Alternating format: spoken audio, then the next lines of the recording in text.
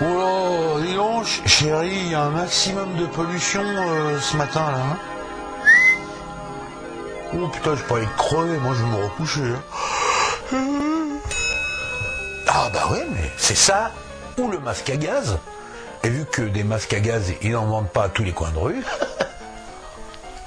bah nous on va se recoucher.